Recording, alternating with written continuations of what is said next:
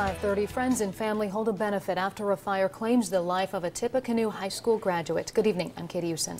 And I'm Mark Allen. 20-year-old Ellen Garner died Monday. She was in a third-floor bedroom when flames broke out near the University of Cincinnati campus on New Year's Day. 21-year-old Chad Kohls of Centerville was also in that home. He died early last week. Today, those who knew Ellen best held a fundraiser in her memory. Alexa Ashwell takes us to the Buffalo Wild Wings in Troy, where folks are eating for Ellen. It's our top story at 530.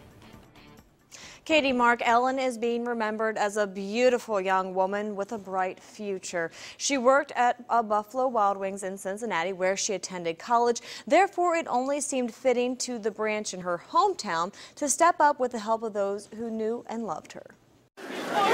There's a greater cause behind every hot wing served and gobbled down at Buffalo Wild Wings in Troy. Her name, Ellen Garner, a 20 year old with a bright future whose life was tragically cut short. Uh, we wanted to make sure we were able to support her and her family. The restaurant is donating 10% of its sales to Ellen's family, as well as raffling off these prizes that were donated by people throughout the community. Ellen's high school Spanish teacher at Tippecanoe is one of many who participated. She was a great student, of course, and uh, just a really nice girl, really special girl, um, creative, talented, and just one of those kids who knew what she wanted and was going for that dream kind of thing. Ellen was majoring in fashion apparel design at the University of Cincinnati. But it was just over Christmas break that these two women say they saw her at their orthodontics office in Troy. She was always real bubbly and just a real sweet girl.